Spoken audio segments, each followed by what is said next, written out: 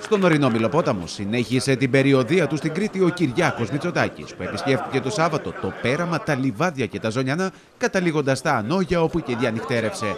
Και αυτή είναι και αθοδέσμη Μάξι. Να σε καλά, ευχαριστώ πάρα πολύ.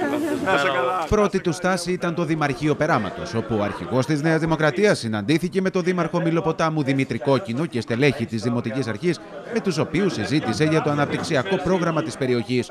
Θα στηρίξω με όλες μου τις δυνάμεις στην Κρήτη, θα μπω ίδιος μπροστάρι στα μεγάλα έργα υποδομής τα οποία πρέπει να ολοκληρωθούν, διότι το νησί πρέπει να ξεδιπλώσει όλο του το δυναμικό, υπογράμμισε ο Κυριάκος Μητσοτάκης. Θα μπω ο ίδιος μπροστάρι στα μεγάλα έργα υποδομής τα οποία πρέπει να ολοκληρωθούν και να μπορεί το νησί μας πραγματικά να ξεδιπλώσει όλο του το αναπτυξιακό δυναμικό. Το βόρειο οδικό άξονα, για τον οποίο τόσα πολλά έχουμε πει, και τόσες ζωές έχουν χαθεί άδικα από έναν δρόμο ο οποίος είναι δρόμος του περασμένου αιώνα. Και η Κρήτη σήμερα είναι μια μαύρη τρύπα ως προς τις υποδομές της σε σχέση με την υπόλοιπη Ελλάδα. Παντού έχουν ολοκληρωθεί δρόμοι υπερσύγχρονοι, μόνο η Κρήτη έχει μείνει με ένα δρόμο Καρμανιόλα. Δρόμος, καινούριο αεροδρόμιο, ηλεκτρική διασύνδεση της Κρήτης με την υπόλοιπη Ελλάδα. Εξαιρετικά σημαντικό έργο ευελπιστώ με τη δικιά σας στήριξη να είμαι πρωθυπουργός όλων των Ελλήνων και αυτών που δεν θα με ψηφίσουν.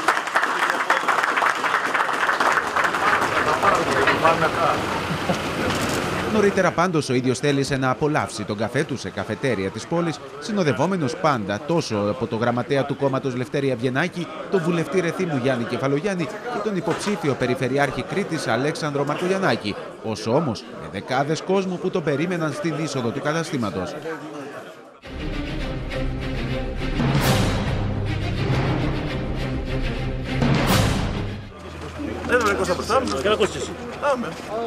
Εδώ έχουμε καλή νεολαία, ε! Η περιοδία του Κυριάκου Μητσοτάκη συνεχίστηκε με στάση σε χωριά του ορεινού όγκου του Δήμου Μιλοποτάμου. Επόμενη στάση τα λιβάδια. Η υποδοχή ένδερμη και εδώ.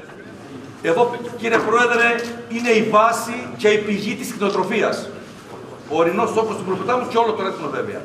Ε, με, όσον αφορά τις επιδοτήσεις, η προπαγάνδα κυβερνάει σήμερα και έχει εισχωρήσει παντού. Fake news, έχει εισχωρήσει παντού.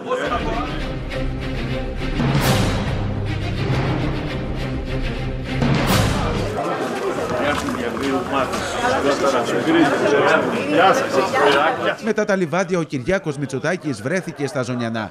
Εκεί επισκέφθηκε και ξαναγήθηκε στο Μουσείο Κέρινων Ομοιωμάτων του χωριού, ενώ ήταν χαρακτηριστικό ότι ο Κυριάκος Μητσοτάκης επέλεξε να μπει σε όλα τα καφενεία των Ζωνιανών, χαιρετώντας για χειραψία έναν έναν τους ιδιοκτήτες, αλλά και τους θαμώνε πίνοντας μαζί τους τσικουδιά. Εγώ κατεβαίνω.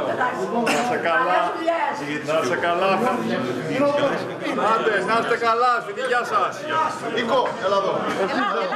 Μάλιστα από τα Ζωνιανά έφυγε και με ένα δώρο βαθύτερου νοήματος, αφού ο Ζωνιανός αντιπρόεδρος της Νόδε Ηρακλείου του παρέδωσε τη φανέλα του Ερμή Ζωνιανών με το νούμερο 9 για να παίξει, όπως του είπαν, φουλ επίθεση.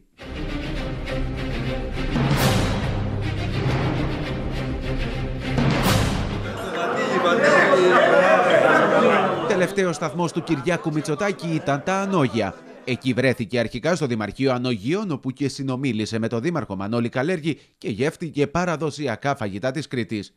Έπειτα ο πρόεδρος της Νέας Δημοκρατίας μετέβησε ταβέρνα της περιοχής, όπου απόλαυσε την παραδοσιακή κριτική κουζίνα μαζί με γαλάζια στελέχη και συνεργάτες του από το κόμμα της Νέας Δημοκρατίας αλλά και της τοπικής οργάνωσης του κόμματος. Αμπούρδε και ανάπτυξη, ανογιανό αέρα, να γίνεις και πρωθυπουργό Όντως μόνη ημέρα. Τετραετίες όσες θες μπορεί να κυβερνήσεις. Από τις αρχές του επίτιμου αν δεν παραστρατήσεις.